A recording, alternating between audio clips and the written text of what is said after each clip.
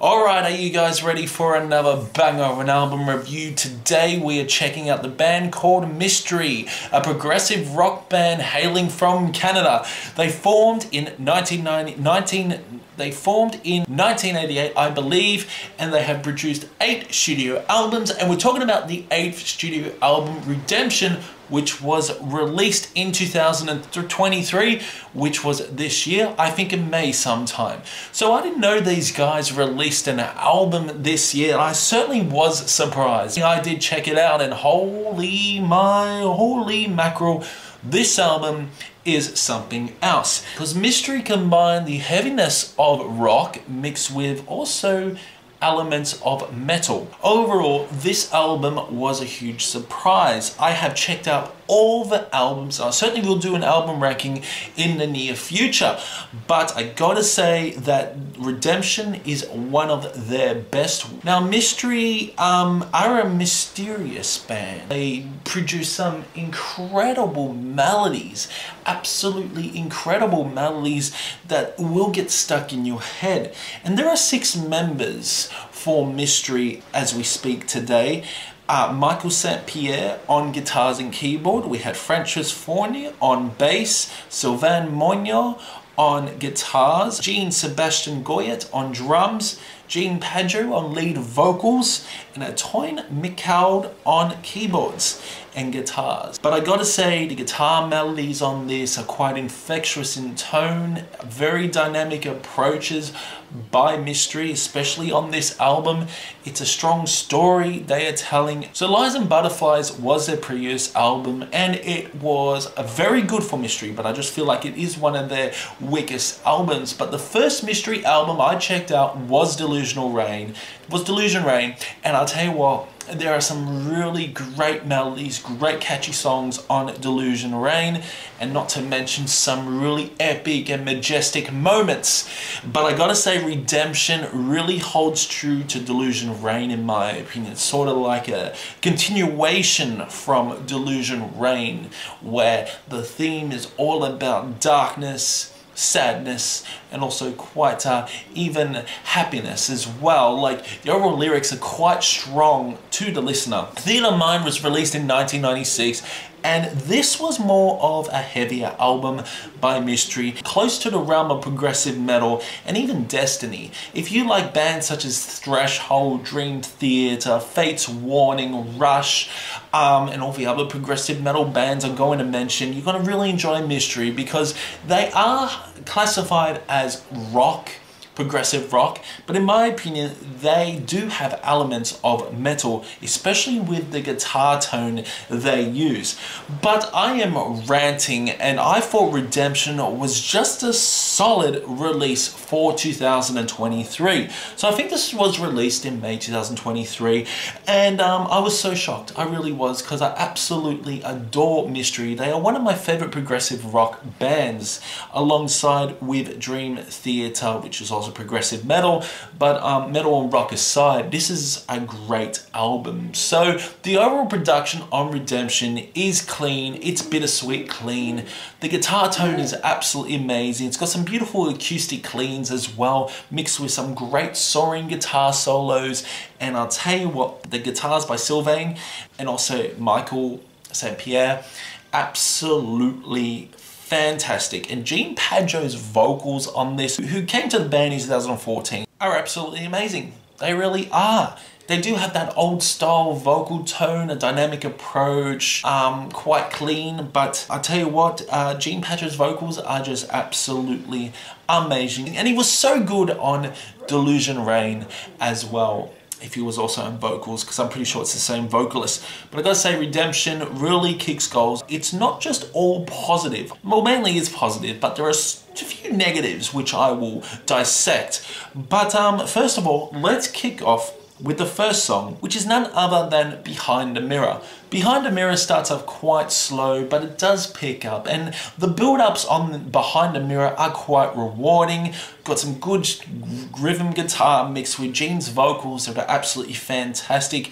Um, you get a really soaring nice chorus as well and some really cool keyboards and synths that build up this song and the build up really pays off with a soaring guitar solo. You get some crazy keyboard solos as well. The rendition of softer rock mixed with the heavier rock side behind a mirror is just a fantastic song and it's a great way to kick off the album. Behind a Mirror certainly has a lot of a lot of older mystery influences on this. It does sound like a mystery song and I tell you what, Mystery never change their sound. They always they always release amazing albums and they always are so damn consistent. That's all I can say. They're even absolutely incredible live.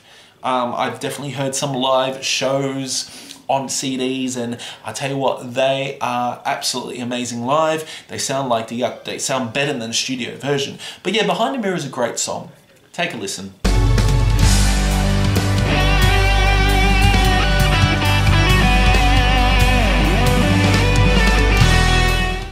Next up is Redemption. Redemption's a slower song, but it does build up. There are even some aggressive um, growls on this. It's well, when I say aggressive growls, there is a deeper tone um, when he says, this is my redemption. If you hear it, it's really low in the mix, but it, it, it's just great.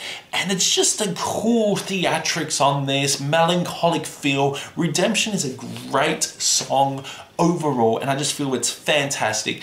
It just builds and builds and builds. There's a really nice, beautiful, clean guitar mixed with the drumming as well. Like the drums by Jean Sebastian Goyette is absolutely fantastic with the cool drum fills you are getting on Redemption and the little tiny little accents as well. So really nice, cool little soothing solos that will just melt your heart. But yeah, Redemption is a great song and I just love the ending. This is my redemption.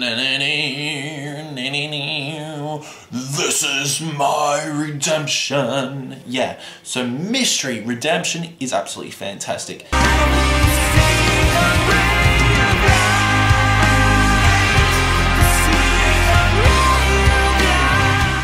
Next up is the beauty and the beast. So overall, I think the beauty and the beast should have been a cut a little bit shorter. There are some melancholic, melodramatic moments on this, and this song does sort of meander, meander somewhere. Like you really, uh, yeah, I don't know, I would have liked this song a little bit shorter, but it works overall. There's some great solos on there, some interesting keyboards, quite synthesizers that build and make it quite theatric. But yeah, this is a very good song, but I would have liked this song to be cut a little bit short. Gene's vocals on this are absolutely fantastic. Some great drumming as well. Tight little drum fills with odd time signatures that would just throw the listener off guard. But yeah, the Beauty and the Beast is a good song, but I would have liked it a little bit shorter.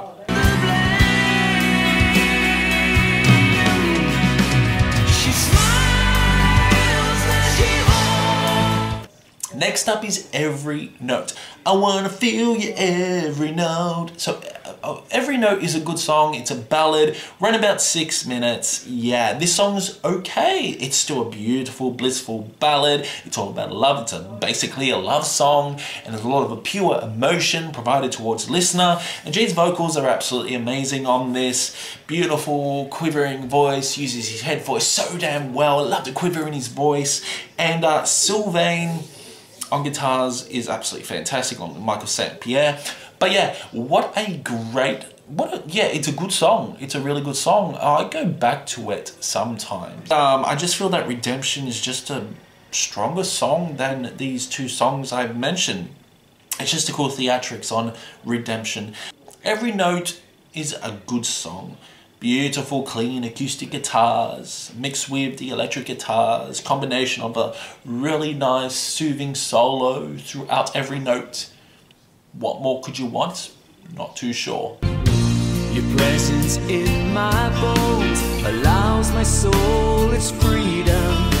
it to love. Next up is My Inspiration. My Inspiration is a pretty fun song overall. Lovely, soothing, slow song, but it builds and the build up does play pay off with some really catchy hooks. Vocals are outstanding on this. It's just the vocal delivery he provides, some really cool guitar riffs, cool keyboards as well, some old time signatures that lead onto that chorus. But yeah, what can I say? It's a good song overall, but it's definitely not the best song.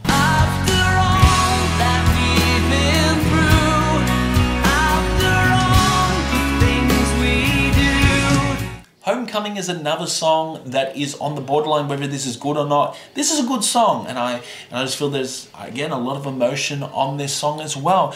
Just a great guitar riffs and finely calibrated song, a lot of dynamics on this with the cool guitars. Like the guitars are absolutely fantastic. Gene's vocals are incredible as well. It's another theatrical song.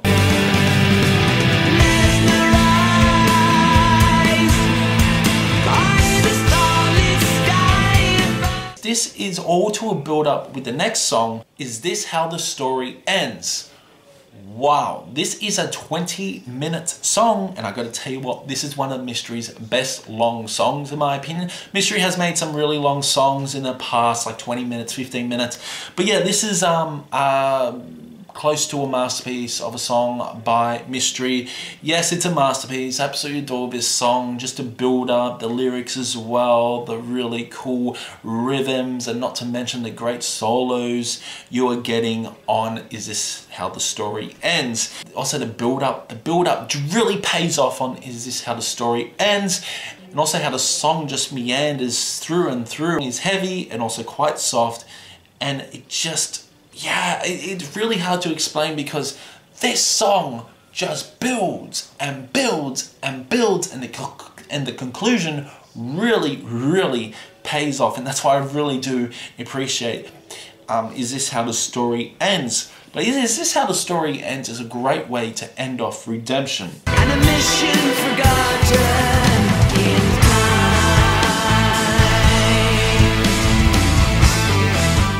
Yes, this is not the best Redemption album, my opinion. I just feel like Delusion Rain, um, even The World is a Game, uh, Destiny Theater of Mind are better albums than Redemption. But to gotta say, this is one of the best prog albums I've heard this year. It's like Mystery never changed the sound. They do change the sound now and again. They do experiment with the cool synthesized theatricals, but this is like one of the most a Mystery have always been quite melancholic, also been quite theatrical as well within the music, and it does really pay off with Redemption, and they have really kicked goals on Redemption. This is one of the best prog albums, prog rock slash metal albums I've heard all year and I think it's just it was a great surprise listening to Mystery's new album which I thoroughly enjoyed. It's a very solid album other than Pearls on Fire which I forgot to mention Pearls on Fire is a 12 minute song and um, Pearls of Fire is fantastic, it really is. It's very Dream Theater-esque. It has a Rush influence as well. There are some amazing guitar solos on this. I can't believe I've totally forgot about Pearls on Fire. Pearls on Fire is an absolute banger. The vocals are amazing. Some great theatr some great theatrics on this with keyboards and everything like that. And it's just a great song.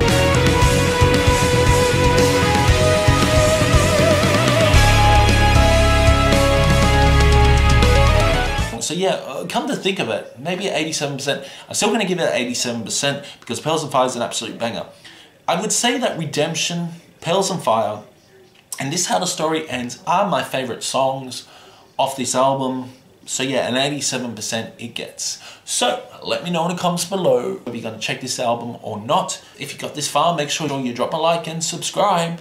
And I will see you in the next one.